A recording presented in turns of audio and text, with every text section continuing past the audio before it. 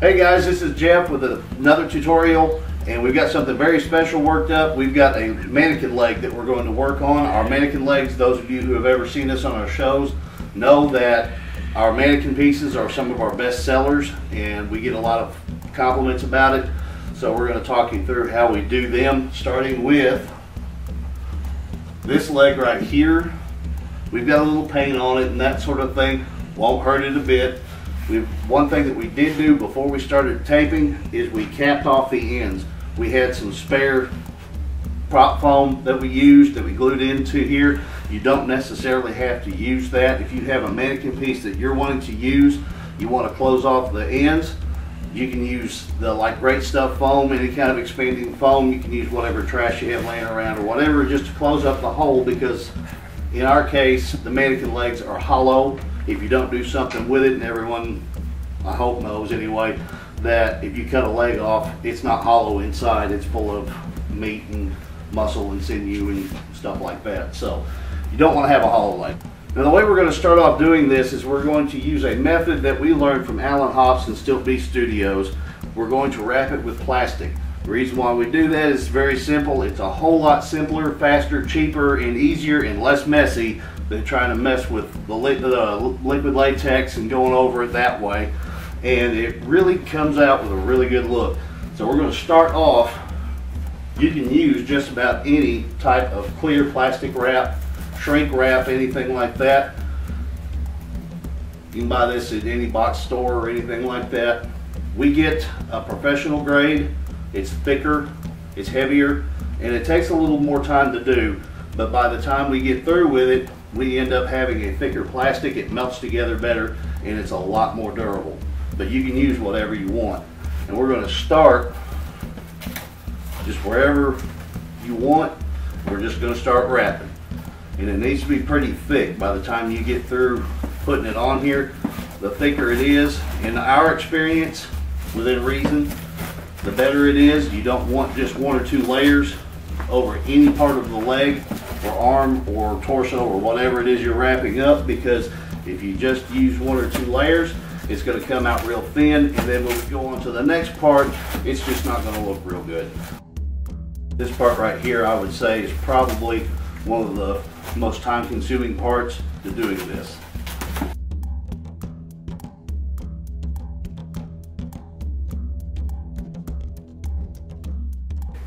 So now I have Scott laying down in front of me. And you're not gonna put that on. Oh yeah. Dude, don't put that on me. I got more. He's gonna, we're gonna, he's gonna help me out. Watch this. There you go. It's gonna be very awkward where you're fast forwarding through this because you're just smiling at random things because nobody knows what's happening down here. Oh, so, they're going so, to know. so Jeff's just like this. They're going to know. They will know. I promise you, they will know. Jeff, because I'll get it. Ah. Oh, damn. This is killing my back. Any of you that laying straight on the ground. The owner of a haunted attraction is 100% glamorous and money making and all that other stuff. You should see what he's doing below me right now. Don't do it.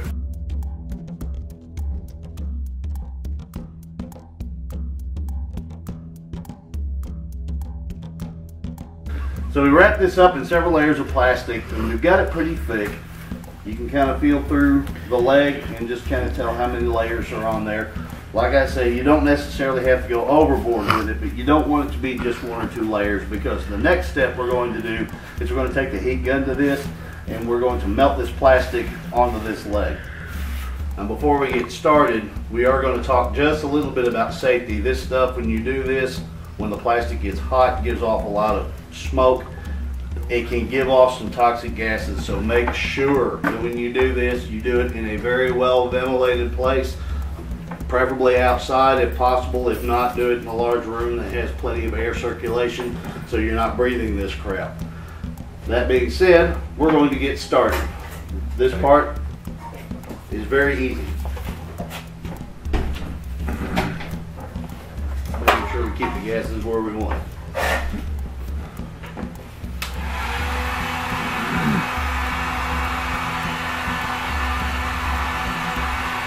These heat guns you can pick up. We picked this one up at Harbor Freight for like ten bucks.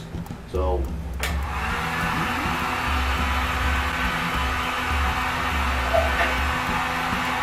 you can see the smoke coming off of it now already. As the plastic melts, it'll stretch tighter against the surface of the leg. So it'll tighten everything up. You'll also get a few holes. We like to call them blowouts. You can call them whatever you want to.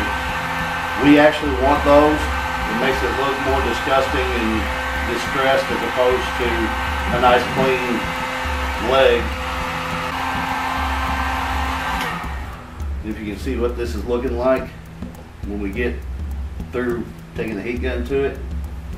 It's kind of got some holes, bunched up in a few places. That's what we want.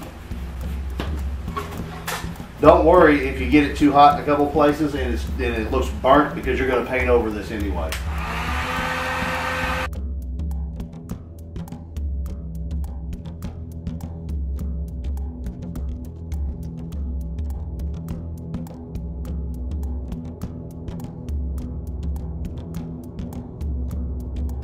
So as you can see, the leg has got a pretty good coat of plastic on it. It's tightened up around the inner mannequin. We've got holes that we have melted into the plastic.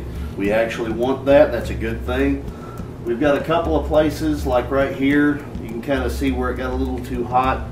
Plastic kind of browned on us some. That's not gonna hurt a thing because we're getting ready to paint it here in just a minute. The only thing that I will recommend that I did not cover already is just remember that the heat gun gets up, ours anyway, gets up to about 1400 degrees. So it's not something to be toying around with. This leg is starting to cool down now, but right up in here it's still pretty warm.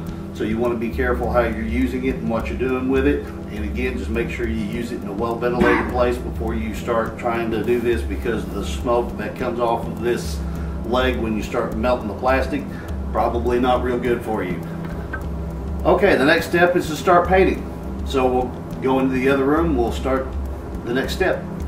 All right, I'm Scott with Scared City Productions. Uh, we're going to kind of collaborate on, on this. We've got a couple of us uh, going to be doing different steps to kind of show you along the way how, how to do everything. Uh, Jeff's already uh, heat gunned everything up for us. Uh, my uh, step next is going to be putting on the flesh tone, and that'll be our base base coat. but we'll start putting it on. We just use just a regular old household paint. Uh, you can use any kind of flesh tone. It doesn't really doesn't really matter uh, where you get it, just as long as it's a flesh tone type color.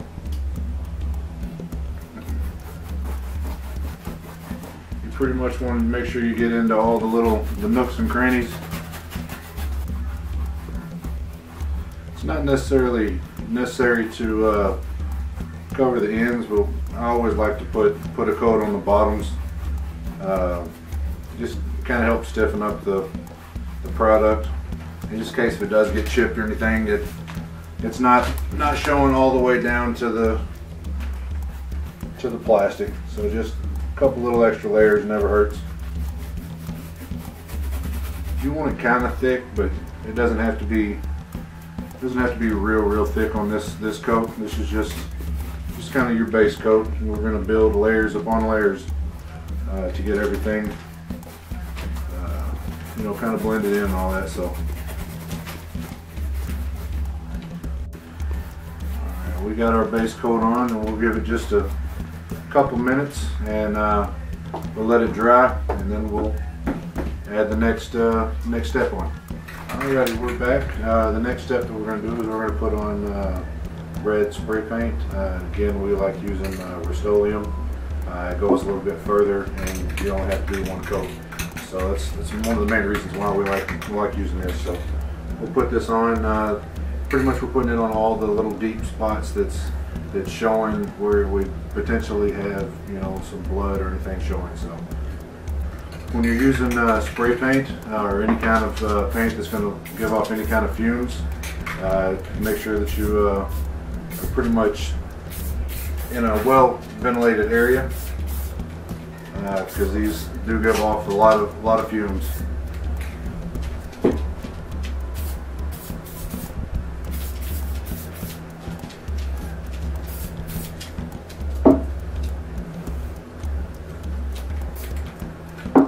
Alright, we pretty much got it to where I want it. Um, we'll give that just a minute or two to dry before we go on to the next step. Uh, the next step we're going to pretty much kind of age it to make it look a little uh, little nastier, a little dirtier. Uh, All right, this is Tony, and we're back. I'm here to do the next step. Uh, we're gonna darken it up, make it look nasty. We're gonna use some hickory gel stain. Uh, this stuff is pretty thick, and you want it to be thick. When you get it on there, just brush it on. Get it in everything, on everything. I know it looks like it's pretty well covered, but what we're gonna do in a few minutes is we're gonna wipe it off. And all these little burn spots, these little holes, these little crevices, I'm gonna make sure you dab it in there. You wanna make it thick. Go a little quick with it, but not too quick. The drying time on this stuff is different in different spots because I mean, you know, here if you're not getting a lot of it on there, it will uh, it'll dry a lot quicker than what will up here. Of course, that's another reason why you want to cover the whole thing, get everything in there. All right. Now what I'm going to do is just take some regular paper towel. What we're going to do is wipe some of it off.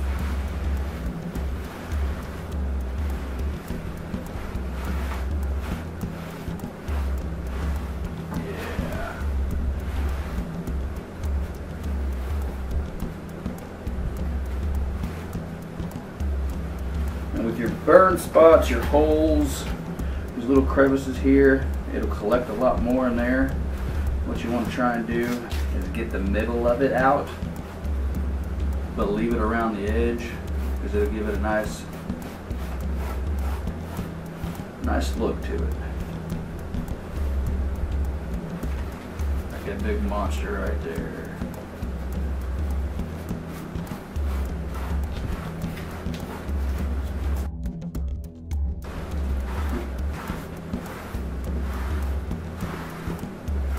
You want that flesh tone to come back through. It's going to look a lot darker. But what you don't want to do, you don't want to get this stuff on you or anything you're wearing. So probably use gloves because this stuff will stain and when it stains it is extremely hard to get off if it even comes off. But this particular step doesn't take a lot of time. You can't really mess it up because if you end up wiping too much of it off, you can always go back over it. You want to make sure that you're blending the bottom half with the top half if you decide to do it one at a time. For us, it's just a little easier. That way you're not worried about one part actually drying before the other part does. At the end, just make sure you give it one good wipe over to get all that extra out of there. Put in your low spots. And here your little burn spots. Make sure a little bit of that red still showing through. That's what gives it that nice consistency look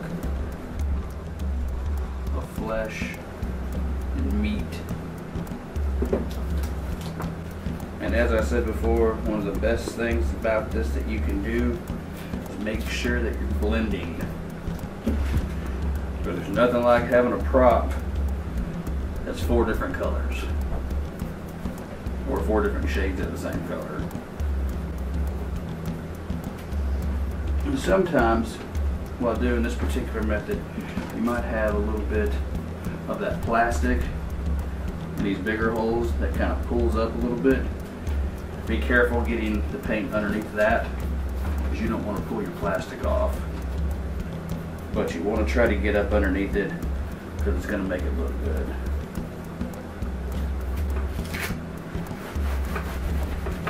And like I said before, it's quite easy to blend this together. You can't really mess up on it because if you do, you can always go back over it again.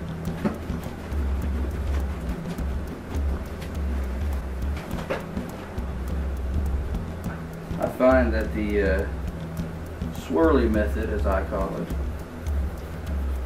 works out pretty good. Just to get it into these high and low spots, because sometimes your uh, regular brush strokes, are just going to go over it. It's going to leave little spots, high spots and low spots. Just get in there and swirl it around. You know, just whatever you whatever you like. Your rules. You can make them or break them. Check your work at the end, because if you missed any spots, you're definitely going to be able to see them. You always do touch-ups at the end. And the cool thing about this is, when you are doing your wipe down, you might pull some of these little plastic pieces up, which is okay. Just going to give it a little bit more texture, a little bit more character look. Just make sure you get the uh, paper towel pieces out of it. And periodically while you're doing this, depending on what surface you're uh, painting or brushing on, make sure you lift it up every once in a while because the last thing you want to do is have your masterpiece stuck to your table. Now with your big stump end right there, you wipe it around in a circle, it seems to work pretty good.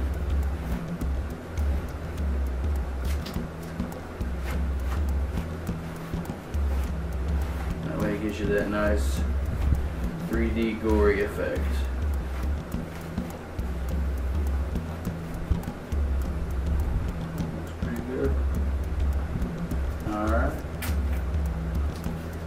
Check the work at the end. If there's anything you to fix up, touch up, anything of that nature.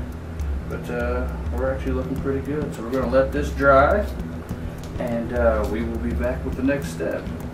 Stay tuned. Okay, so we've let this sit and dry for just a little bit. Now I will tell you that when you do this, this gel stain is still going to be tacky. So you kind of have to watch how you handle it. You may, on a couple of occasions, go to grab a hold of it and leave your hand in one place for a little while and lift back and have some paint come off on your hands. Don't freak out. That's okay. We can fix that. The next step we're going to do is we're going to dry brush the flesh tone that we've been using, that same brush flesh tone that we used, excuse me, on our base coat. We're going back to it, but we're going to dry brush over the top of this. Case you haven't already noticed, the layers are starting to show through. It's starting to look organic. It's starting to look less like a piece of whatever, and it's actually starting to look like a, a very distressed leg at this point. And what this is going to do is highlight some of the details that you can't see from it being darkened by the gel stain. So what I'm going to do is I'm going to stand up so I because it's easier for me to do when I'm standing up. And I'm going to take a very, you can see this, there's not hardly any flesh tone on my little palette here that we use. You can tell we're high dollar here, it's cardboard. But whatever works. It's only stupid if it doesn't work. We're going to take a very, very small amount of flesh tone and we're going to start going over what we've already done. Now I've got another paper towel here so if I think it's a little too much I can wipe it off a little bit. But this is going to highlight some of that stuff that is sticking up. It's one more thing to catch the eye. All of this stuff that we're doing, which by the way, it took us about a year and a half to come up with this paint process and actually the way we ended up discovering it was by mistake, my mistake actually. But what we are doing here is coming up with more and more layers. You may not consciously think about it when you're looking at the finished product, but your eye will still catch it. Your mind will still know that it's there. That's why we do the base coats, the reds, then the, the gel stain. Now we're going over this, highlighting the stuff that's coming off of the leg. I'm not getting down into these deep parts because we're going to do some more with those here in a little bit. But all of this stuff, when it all comes together we get finished, is really going to make an effective look. I'm kind of wanting to tone that down just a little bit right there. I had a bright spot, so I'm going to wipe that off just a little bit. This, the nice thing about it is when we get through with this, you should be able to go straight into the next step. Don't even have to wait for it to dry because there's not hardly anything there. And again, like all the other steps, skin does not have brush strokes. So if you see a brush stroke, you need to do something with it to get rid of it. As we go about this, if you have mannequin pieces and you start to do these on your own, if you change the, the order that we do that, that you do these in, you're going to change the way it looks. Doesn't necessarily make it wrong by any means, but it is going to alter your finished product when you get to the end. So on one hand, don't be surprised if it doesn't come out the same if you change the order. But it's also because you're doing this by hand, you may do this by the, in the same order that we're doing it right here, and yours may look a little different than ours does. Again, that doesn't hurt anything. Okay, ready to move along. Okay, so we've finished dry brushing our leg, and again, it didn't take any time. And as a matter of fact, you can actually grab a hold of it now, and it's not as tacky as it was. That's a good thing. Makes our lives a whole lot easier. You know, we're getting down to the nitty gritty now. We're going to our FrightProps Grime. And for those of you who have never used it, I highly recommend it. It's what we use. You can use whatever you want, but this stuff here is a water-based polyurethane and it has been great for us over the years and it gives us a very organic amber tint to our props when we paint it over, paint over it. Plus, when it dries, it's a layer of protection and it helps from chipping the paint off. So what we are going to do is coat this entire leg with FrightProps Grime.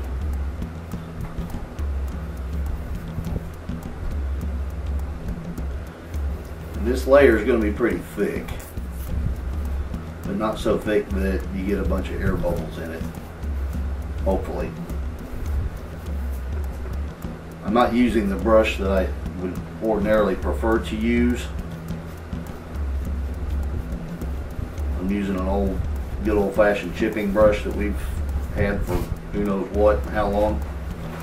I may take and kind of get some of the foamy pieces off so that it doesn't dry into our leg looking like I don't know what. Nice thing about this grime, not only that it adds a protective layer on it, but it also has that glossy sheen, which in our case, in the haunted attraction industry, what we have found is we get a much better reaction out of props that are set in the dark with lights put on them and they have a glossy sheen to them they come across as looking more organic, even though skin by its nature is not glossy in and of itself. But when it's under low lights, and it's got colored lights and strobes and that sort of thing, and it's got that glossy look to it, it looks really, really good. By the time we get done with this, generally speaking, unless if you just take, I don't know, a hammer or uh, some kind of blunt object, baseball bat or something, just start wailing on our leg here, you're not going to see much of the paint come off of it or anything like that. You would over time. After all, it is artwork first and foremost. But for the most part, if you just take and say carrying it from one place to another and you just drop it or something accidentally, you're not going to see much damage to this. As you're doing this, make sure with the lower parts, the parts that sink in, the holes, the gaps, make sure you get down in there.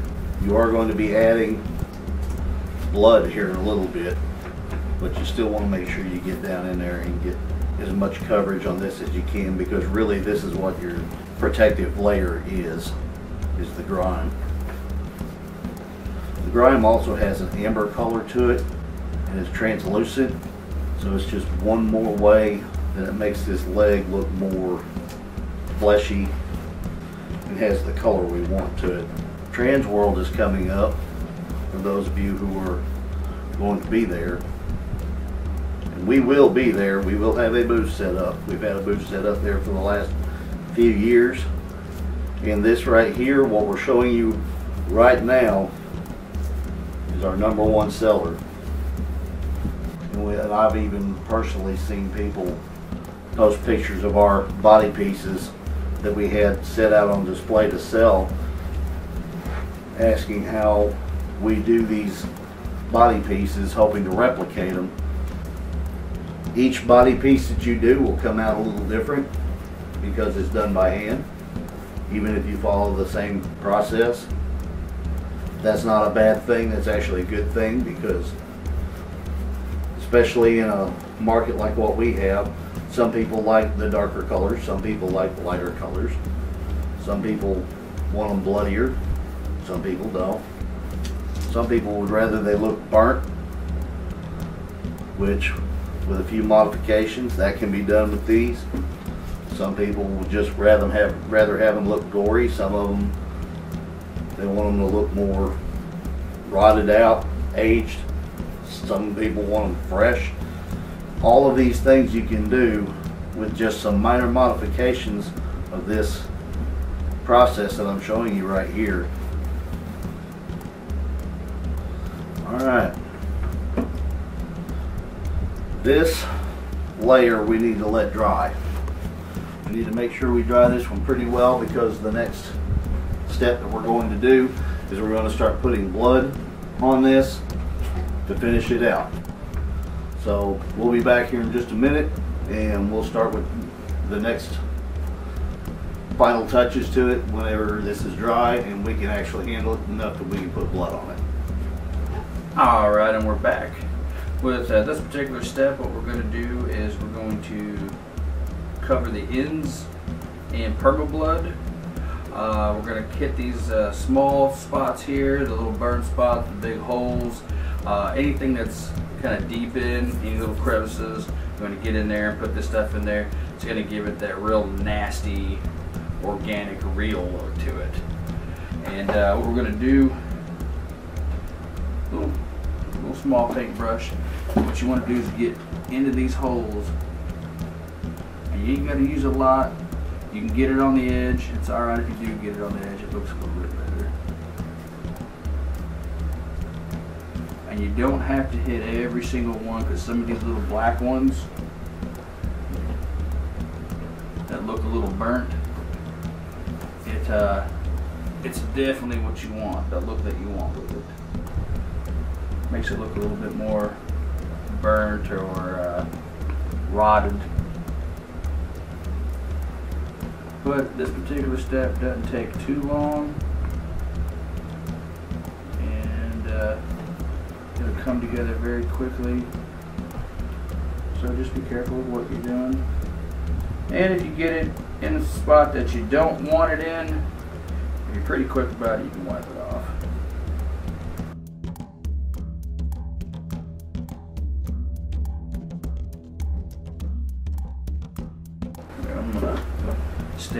Tilt this towards you a little bit so it'll be a little easier if you see what I'm talking about. It's kind of nasty looking. All you gotta do is give it a little dab. That's what I mean by these big spots right here. Make sure you get enough in there. Don't get too much. But like I say, if it runs out the sides over the edge, that's cool. Because if you got rotted flesh or burnt skin or anything like that, it ain't just gonna stay contained in one little spot. And one one thing about these bigger areas, the bigger areas you do want a little bit more in there.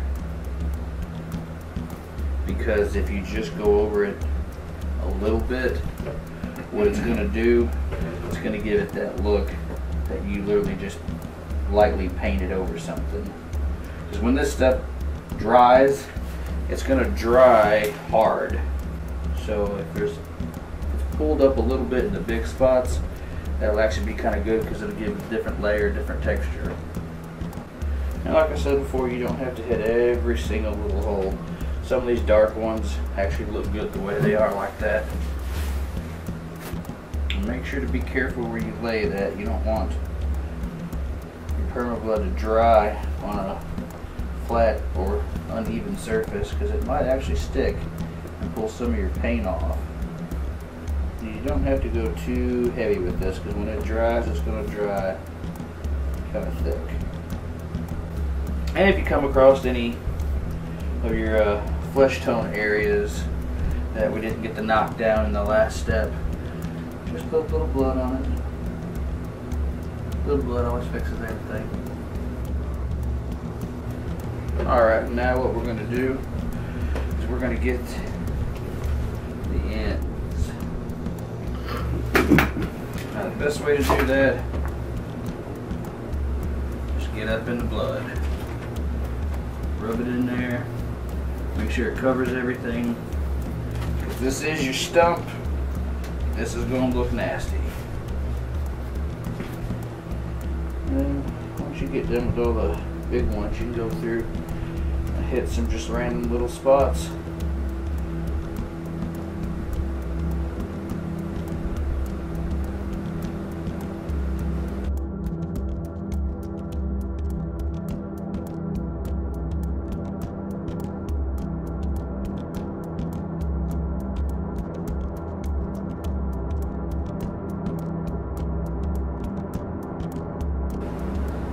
Right here. You can stop if you want to. Sometimes what we do is we like to put uh, dripping blood off the edges here. The drips on it gives it a little, little creepier look. Goes a little farther with it, but with this one, it actually looks pretty good. I think we're going to leave it at that. And uh, make sure I got everything off my hand here. More or less what you're going with is that's going to be your finished product. Looks pretty awesome. Alright. Well, we will catch you next time. Appreciate you tuning in. See you later. Thanks for tuning in to uh, Scared City Productions on YouTube. For more videos, subscribe to our channel.